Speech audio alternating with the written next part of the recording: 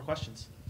Yeah, I mean, I'm excited that we kind of got ourselves straight a little bit in the third through fourth quarter, uh, second through fourth quarters. I just, uh, I thought it was a kind of a team that lacked confidence in the first quarter, just coming off of, of how we played against North Carolina State.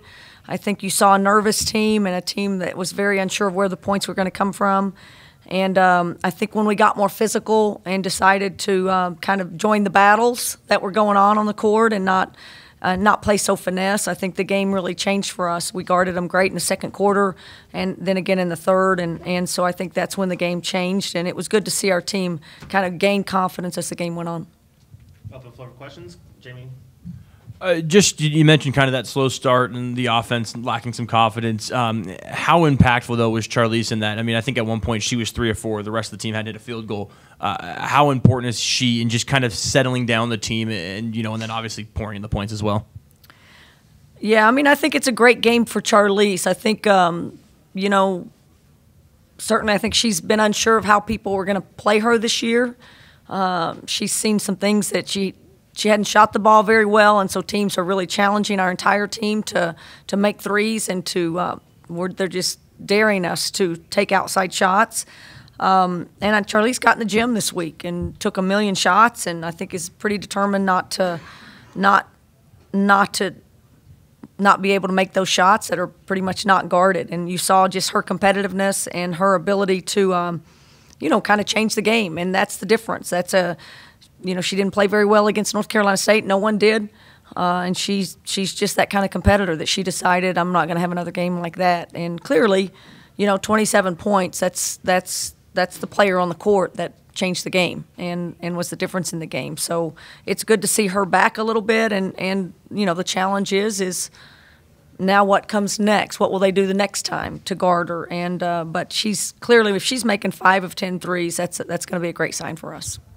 And then, kind of on the same note, it seemed really in the second half, Bella kind of took over in the paint. Um, and then after, you know, when she scores, she flexes and she and she does the the too little. Uh, is it just kind of some energy that she brings to the team and uh, almost uh, maybe lightens the mood in a sense, just because of you know how much of a personality she is?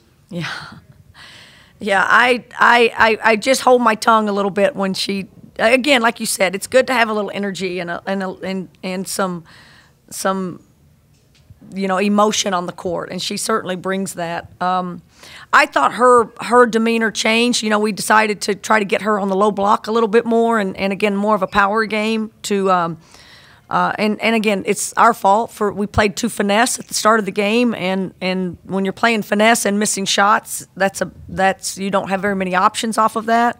When she got more aggressive, when we got her the ball in better spots on the floor, when she created more holes in the paint, um, not only did she score, but but um, but it opened up shots for people on the perimeter. So we can't get away from that. She's a really good talent. People have to scout her. People have to send two at her and we've just got to keep learning how to get her the ball in the right spots and her making really great decisions because we need we need her boards and we need her points for this team to, to succeed.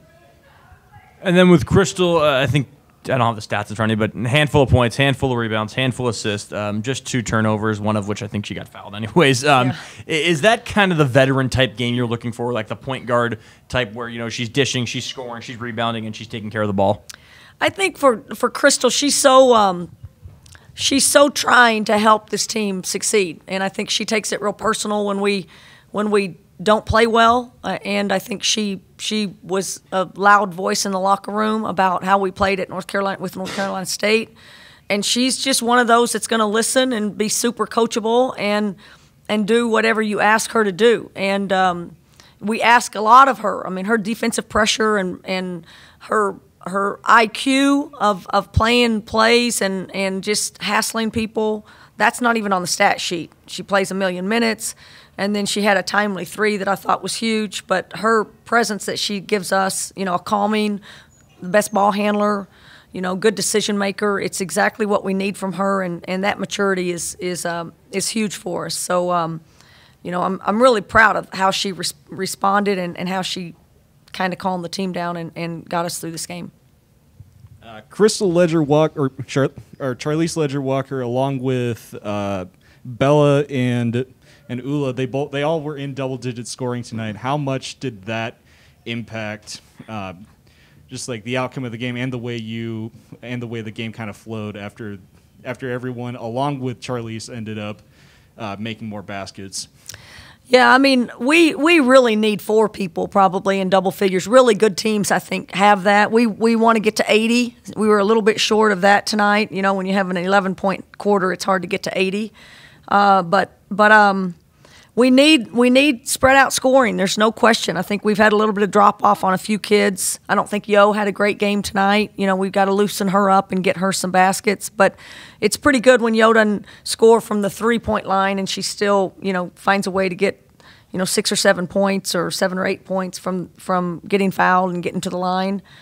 Um, but I just think Charlisse is a really special player. I mean, if you look at even the North Carolina State game that we played the, they had one player in double figures, and it was their guard, and um, she had 27, I think, too. So uh, you get someone that can put those kinds of points on the board. You don't need a lot of help from a lot of other players. So it's a great sign if we get three in double figures with those kinds of scoring. But uh, it's a heavy burden to ask someone to score that many points every single game, and we've kind of done that with Charlisse. And when when we've struggled, it's been when she struggled, and so that's not on her. That's on kind of our team to, to take off a little bit of the load and, and make the game a little easier for her.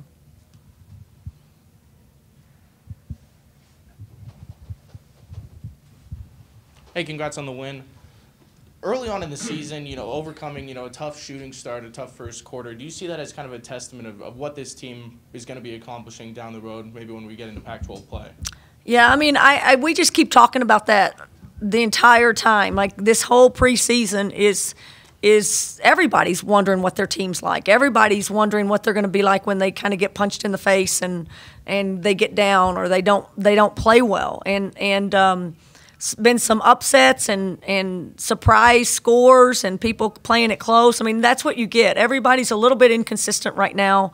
We're no different. We we do we don't do a lot of things very well yet execution being a primary one.